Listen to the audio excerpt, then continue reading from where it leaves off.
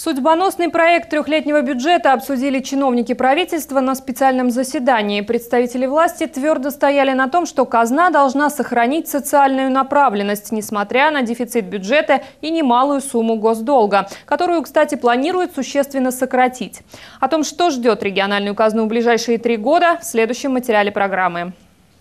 Налоговый маневр российского правительства спутал все планы саратовского Минфину. Региональный министр докладывает, из-за изменений в законодательстве субъекты страны потеряли часть доходов по акцизам на нефтепродукты. Пострадала и Саратовская область. В результате региональная казна снова с дефицитом.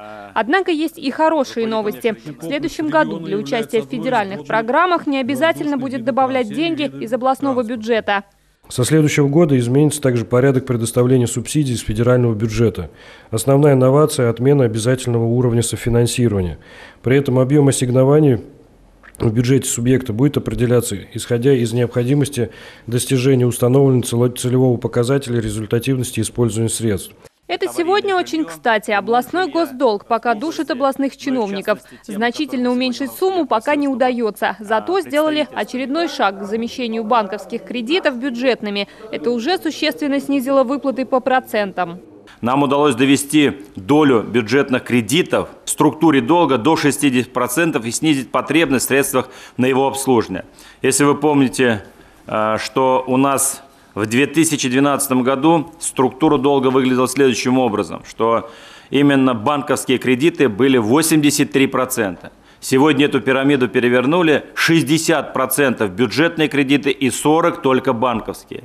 Рывок обещают транспортной сфере региона. На следующий год финансирование дорожного фонда составит 7,5 миллиардов рублей – это для Саратовской области беспрецедентная сумма, но она не идет и в сравнение с возможностями, которые получит регион, если войдет в федеральную программу.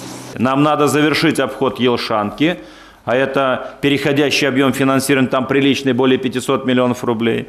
7 километров еще надо пустить. И нам надо войти по новому проекту, хотя бы небольшой суммы, обход города Саратова, 34 километра. Вот это цель номер один. Тогда мы, выходя из одного проекта в 2015 году, входим сразу в другой большой федеральный проект стоимостью 13 миллиардов рублей. В планах на ближайшую трехлетку сократить дефицит областного бюджета как минимум в два раза, а также уменьшить сумму госдолга. Часть запланированных программ в связи с этим придется перенести на другой период. Но при этом самое главное – сохранить социальную направленность региональной казны. Запланировано дальнейшее увеличение заработной платы бюджетникам и рост социальных выплат. Елена Губенкова, Евгений Шейченко, РЕН-ТВ, Саратов.